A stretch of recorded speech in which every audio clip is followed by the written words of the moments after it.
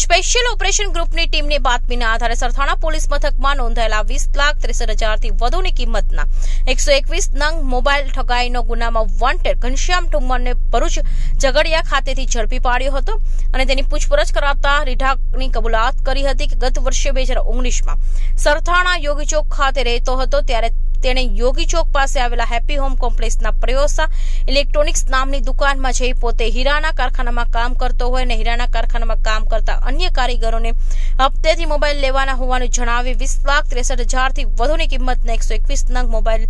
રહી રૂપિયા ન આપી ભાગી છૂટ્યો હતો. હાલ તો એસઓજીની ટીમે આરોપીનો કબજો સરથાણા પોલીસને સોંપવાની તજવીજ હાથ ધરી છે.